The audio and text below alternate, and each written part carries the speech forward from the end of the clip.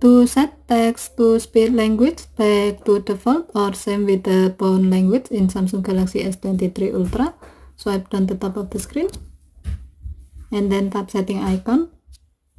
Scroll down the screen to find general management.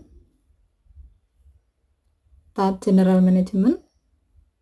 Tap text to speech. Tap language. And then select used by system language. By doing this action, the text-to-speech engine will read the text aloud in the language you have set as the default language.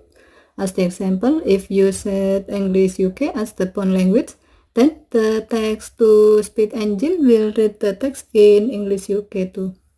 To know how it is going to sound like, tap play button.